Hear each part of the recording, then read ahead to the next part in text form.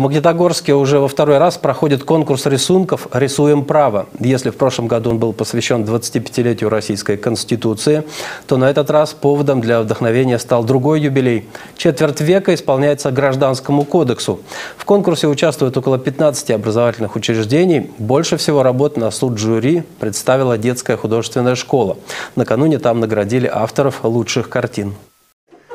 Полное название конкурса на этот раз звучит так. «Рисуем право. 25 лет Гражданскому кодексу. Старт в Магнитке». И это вполне отражает действительность. Магнитогорск можно назвать меккой российской цивилистики. Четверть века назад в нашем городе состоялась конференция. На ней обсуждались положения, которые в дальнейшем легли в основу этого кодекса. Активное участие тогда принимало и правовое управление ММК. Это было очень серьезное юридическое событие в то время, не только для города Магнитогорска, но и для страны в целом. То есть ученые-правоведы, обсуждали вновь действующий кодекс и вырабатывали практику его применения. Э, Магнитогорску повезло не только вот 25 лет назад. Мы на самом деле проводили конференции у себя под эгидой Павла Владимировича, под эгидой школы частного права. И при введении второй части кодекса, и третьей, и четвертой.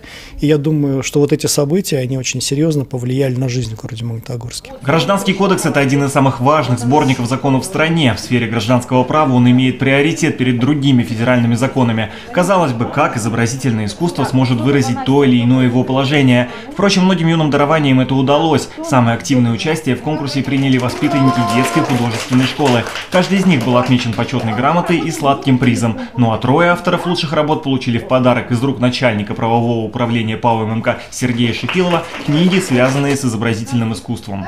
Наши преподаватели в художественной школе постоянно ищут нам э, возможности как бы, проявить наш талант и показать им его всему миру. Поэтому мы ищем различные интересные конкурсы, фестивали, соревнования. Интересно посмотреть на технику других ребят, как они работают, может быть, что-нибудь у них перенять. Вот, или показать то, как э, я могу это делать, то, как я вижу эту тему. Конкурс «Рисуем право» в прошлом году получил одобрение на самом высоком уровне. Его инициатором стал депутат Государственной Думы, председатель попечительского совета Центра правовой информации Павел Крашенинников право не некая абстрактная категория, а часть их жизни. А, оно пронизывает абсолютно все. Это сделки, это обмены, это товары, это заключение их имущественных и даже личных отношений.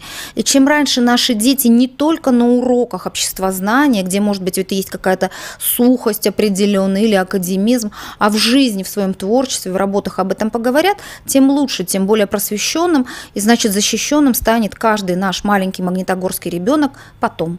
О том, какие работы будут признаны лучшими, станет известно чуть позже. Отметим, победителей ждут солидные денежные премии. Кроме того, так же как и в прошлом году, из лучших иллюстраций будет напечатан особый альбом. Павел Берсенев, Виктор Исаев, телекомпания ТВИ.